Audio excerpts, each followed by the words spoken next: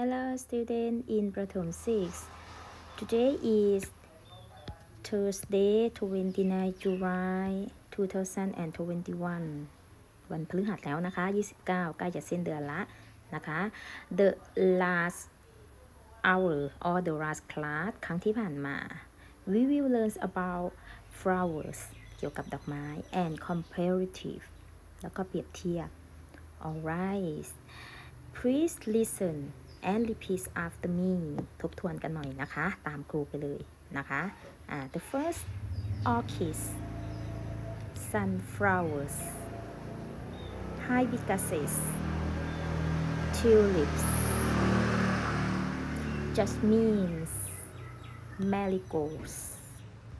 lotuses gerberas tulips roses lotuses sunflowers lilies orchids alright and uh, the words about adjective นะคะ ต่อไปคำศัพท์ adjective big beautiful small youthful expensive cheap โอเคอันนี้คือทบทวนนะคะโอเค next we will learn about uh, to page 23 หน้า 23 open your book please โอเค please look at the picture look at the picture again and you will see the flowers the kind of flowers ชนิดต่างๆ อีกแล้วดอกไม้นะคะอ่า the first jasmine ดอกอะไรคะ jasmine อ่าเดี๋ยวครูขยายให้ ดอกมะลิ เราเรียนแล้วนะคะ ดอกนี้ next orchids orchids ดอกอะไรคะ กล้วยไม้ champax champax ดอกอะไรคะจำปาอะครูเขียนให้กรณีที่เป็นดอกไม้ใหม่ roses roses ดอกอะไรคะ ดอกกุหลาบ carotropisis carotropisis ดอกอะไรคะ ดอกลัก จริง ๆ ดอกลักเราเราพูดอีกคำศัพท์หนึ่งก็ได้นะคะะตัวนี้ครูเขียนเพิ่มให้ cloud ที่แปลว่ามงกุฎอะค่ะ cloud แล้วก็เติมคำว่า flower ลงไป อันนี้ก็จะแปลว่าดอกลักนะคะ หรือนักเรียนจะออกเสียงตัวนี้ก็ได้ calotropis แคร carotoprisis carotoprisis แล้วก็ cis carotoprisis carotoprisis or cloud flower เลือกเอาค่ะ นักเรียนถนัดตัวไหน มันแปลว่าดอกรักเช่นเดียวกันนะคะ m a r i g o s m a r i g o s ก็คือดอกดาวเรือง โอเค please repeat after me again go jasmine orchis champax roses carotoprisis marigolds อ่าพอนักเรียนได้จะดอกไม้ละนะคะคราวนี้เป็นงานของเราอ่านักเรียนดูนะคะอ่าเด็ก the girl and the boy สองคนนี้เขาพูดเกี่ยวกับว่า what is a garland made of a garland garland ก็คือพวงมาลัย รู้จักใช่ไหมคะ เราจะทำพวงมาลัยคราวนี้ครูจะให้นักเรียน สมมุติว่านักเรียนจะทำพวงมาลัยขึ้นมาหนึ่งพวง นักเรียนอยากจะได้วัสดุ flower อะไรบ้างที่ made of นะคะที่ทำมาจากให้นักเรียนเลือกอเช่นครูถามคำถามว่า what is a garland อะไรคะ อ่าพวงมาลัย made of made of แปลว่าทำมาจากให้นักเรียนคิดนะคะทำมาจากแต่ละคนอาจจะออกแบบไม่เหมือนกันก็ได้นะคะคำตอบพวงมาลัยพวงเดียวให้ออกแบบแค่พวงเดียวอะนักเรียนก็ใช้แทนคำว่า it ได้เลยนะคะ แล้วก็คู่กับ verb to be is is made of แล้วก็ตามด้วยดอกไม้หรือชนิดของดอกไม้ที่เราเรียนไปอาจจะเอาหน้า 22 นะคะ มาผสมด้วยก็ได้ หรือจะเอาแค่หน้านี้ก็ได้ครูไม่ได้ว่า and roses กรณีที่ต้องการแค่ 2 ชนิดในพวงมาลัยอ่าแต่ถ้าเกิดว่าต้องการ 3 ชนิดล่ะคะอ่าอยากได้ 3 อย่างอ่านักเรียนก็สามารถเขียนได้แบบนี้นะคะ is is อ่าตัวย่อก็ได้นะคะ maze of อ่าทำมาจาก 1 แล้วก็คอมมาแล้วก็ 1 อีกดอก อันนี้คือชนิดของดอกไม้2คอมมาแล้วก็แอนเชื่อมตัวสุดท้าย นี่คือจะจะได้ 3 ชนิดนะคะ แล้วก็นักเรียนก็วาดภาพออกมา ตามที่นักเรียนเขียนอ่าคราวนี้อีกตัวอย่างหนึ่งอีกอันหนึ่งการบ้านคุณให้ทำทั้ง B และ C เลยนะอ่าอันนี้คือข้อ B นะคะอ่าทำพวงมาลัยเดี๋ยวครูอธิบายอีกรอบหนึ่งก็ได้ แต่ว่าเราดูข้อ C ก่อนอ่าข้อ C จะเป็นงานที่ยากกว่านิดนึงนะคะ ซึ่งมันเกิดจากครั้งที่แล้ว นะคะอ่านักเรียนจำคำ adj ได้ใช่ไหมคะ adj ก็คือ adjective adjective ก็คือคำคุณศัพท์ ทั้งหมดเนี่ยเป็นคุณศัพท์ครูบอกเลยว่าการพูดเปรียบเทียบนะคะ มันจะมี 2 อย่างในขั้นกว่า 1. ใส่คำว่า er 2. ใส่คำว่า more อันนี้ครูเอาขั้นกว่าก่อนนะ ขั้นสูงสุดครูยังไม่พูดถึงนะคะ ครูเอาขั้นกว่า ในการที่เราจะเขียนประโยคนะคะ ในขั้นกว่าเราจะเขียนยังไง อ่า คราวนี้เราต้องมาดูที่คำศัพท์ก่อน beautiful แปลว่าอะไรคะ สวย expensive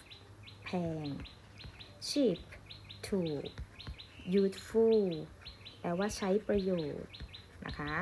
หรือใช้ได้มากกว่าอย่างเงี้ยค่ะ big ใหญ่ small เล็ก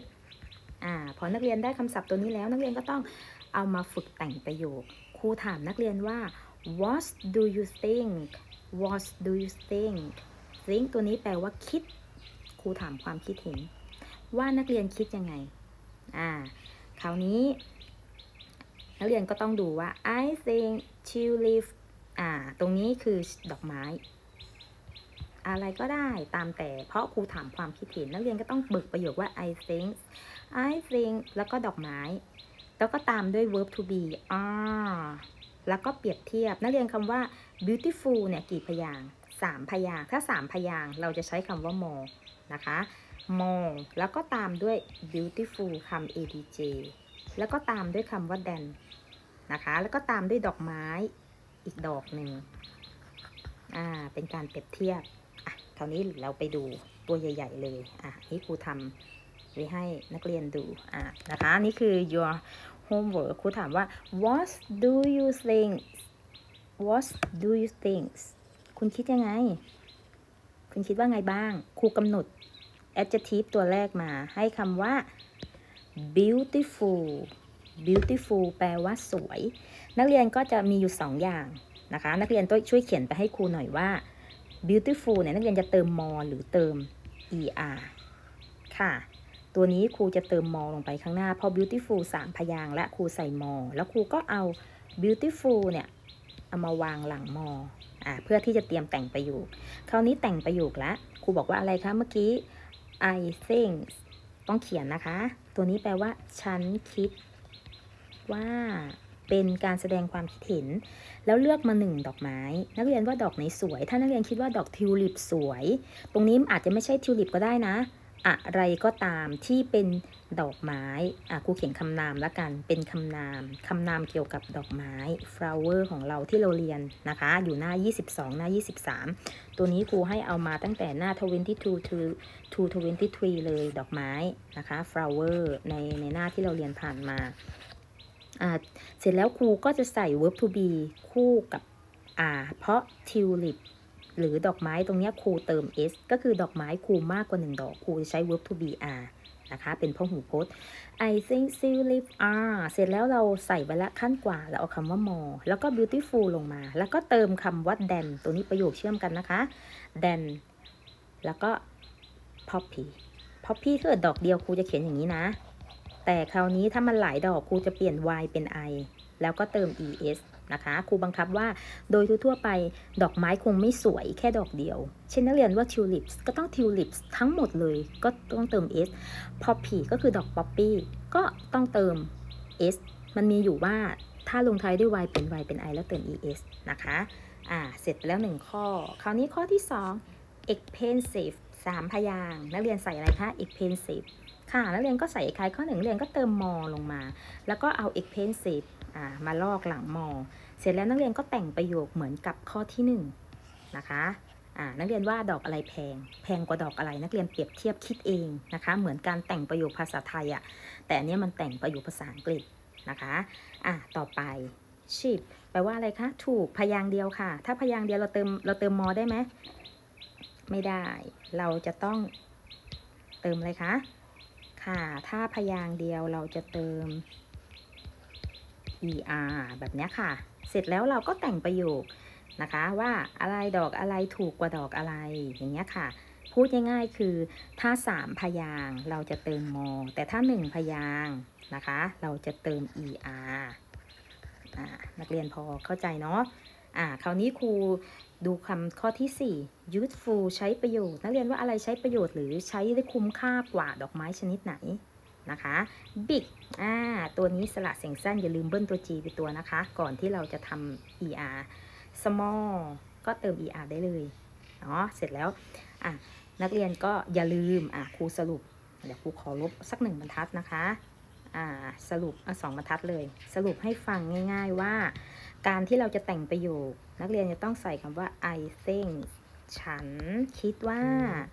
แล้วก็ตามด้วยคำนามคำนามนี่คือดอกไม้อะครูเขียนดอกไม้ก็ได้อะดอกไม้ แล้วก็ตามด้วยคำว่า are นะคะ แล้วก็ต้องตามด้วยคำ adj adjective adjective ก็คือคำที่เราเรียนไปเมื่อกี้ค่ะ expensive cheap useful อะไรนะคะ big small นะคะอ่าเสร็จแล้วมันมี 2 แบบ แบบเติม er แต่ถ้าเกิดว่าดอกไม้ ถ้าเกิดคำศัพท์ที่มากกว่าครูมากกว่า 3 พยางก็คือ 2 พยางค์ค่ะครูจะใช้คำว่า more แล้วก็ตามด้วย adj อ่าแล้วก็ตามด้วย then